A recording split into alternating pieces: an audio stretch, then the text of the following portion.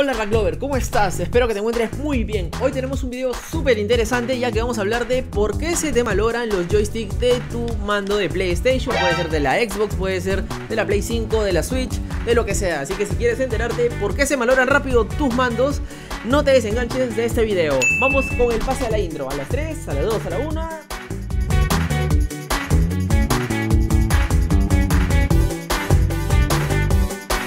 nosotros en algún pasaje de nuestra vida nos hemos sentido estafados o disconformes con algún producto que nos dieron o nos ofrecieron porque no necesariamente cumplieron nuestras expectativas o pensamos que serían alguna cosa y terminaron siendo otra.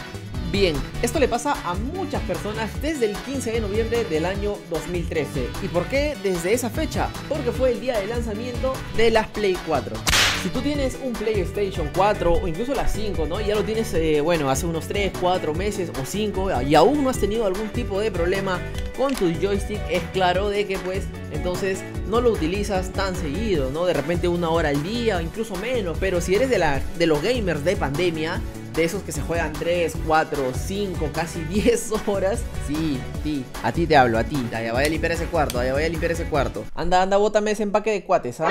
Lo más probable es que hayas tenido fallas con tu joystick. Y esto no solo le pasa a la gente de Play, sino también pues los que tienen Xbox One, la serie X, la serie S. Eh, los Scoof Gaming, entre otros. Si ya se te ha malogrado antes el joystick, déjalo en los comentarios. Bueno, ¿qué pasa? Pasa que no responde, no funciona como debería ser, o funciona cuando quiere, o simplemente murió, ¿no? Hermanos, un minuto de silencio.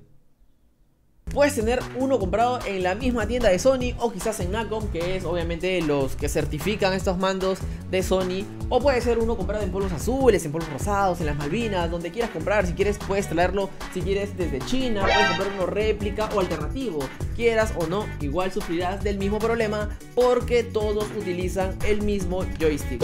Obviamente esto no pasaba para nada en lo absoluto con los mandos de Play 2 o con los mandos de Play 3. ¿Y por qué? Porque la pieza era de mejor calidad y era de más larga duración. Cuando salió la número 4, para economizar el precio de las consolas, se tiene que reducir otra cosa, ¿no? Porque obviamente la empresa no es loca para perder plata.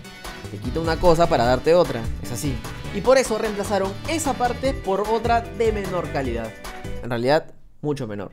Y específicamente, ¿cuál es esa parte? ¿Cuál es el origen del problema? Esta diminuta pieza de aquí. Lastimosamente, el fabricante le dio a esta pieza vida limitada y muy reducida. Como podrás ver en pantalla, esta pequeña pieza tiene muchas otras mini piezas por dentro. Para poder separarlas unas de otras, sí o sí se tienen que forzar ya que vienen literalmente casi pegadas. Ahora, ¿por qué tu joystick no responde o simplemente no responde como debería?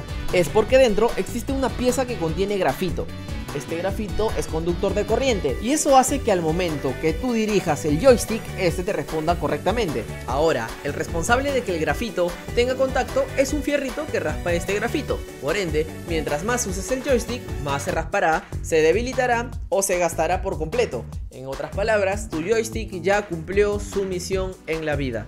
Para estos casos en específico, lo recomendable sería reemplazar toda la pieza completa ya que reemplazar solo el disco de grafito sería casi imposible por lo mismo que se tiene que forzar la pieza para poder abrirla.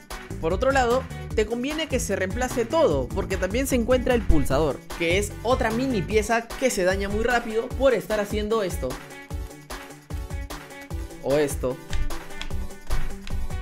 O esto. Entonces, por un solo pago, obviamente estarías casi renovando los joysticks de tu mando de la Play 4. De este sufrimiento no solo padecen los mandos de Play 4 o 5, como te lo había mencionado anteriormente. También están los joysticks de la Nintendo Switch, que son peores, en realidad son mucho más frágiles, ¿no? Que se dañan incluso mucho más rápido que los de la Play 4. Igual, la única solución es cambiar esta pieza. La duración va a variar dependiendo de cuánto lo utilices en el día a día, ¿no? Por lo general, eh, de vida tienen de 10.000 a 15.000 pulsaciones. También tienes que saber a qué técnico le vas a confiar tu mando de Play 4, porque, o sea, puede ser uno... No sé, un amigo emprendedor que recién se haya graduado como técnico de mandos de Play 4 y no tenga la experiencia suficiente o necesaria para este tipo de trabajos, ¿no? En, el peor de todos, lo que podría hacer sería dañar la placa de tu mando de play y pues prácticamente rip mando. Literalmente pasaría a ser inservible. ¿Y tú crees que te va a reconocer? ¿Qué te va a reconocer? Amigo, me lo has dado dañado, no prende. Ah, no sé, ah, ahí está tu, tu, joystick nuevo. Tú me lo has mandado así, yo, tú me lo has traído así, yo te lo he dado así. Ahí está tu joystick nuevo, no sé yo. Pero en mi casa no prende, señor.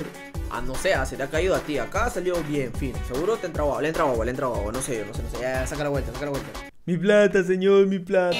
Si tienes uno de estos problemas o tuviste uno de estos problemas o tienes miedo de tener uno de estos problemas, por aquí te voy a dejar un link donde puedes realizar tu consulta, sacar tu cita, sacarle cita a tu mano, ¿no? E inmediatamente te van a responder, no como esos de Insalud que nunca te responden.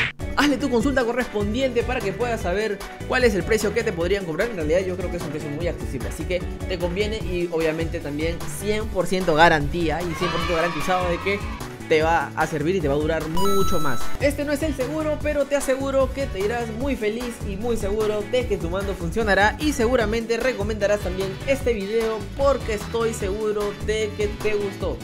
Seguramente no.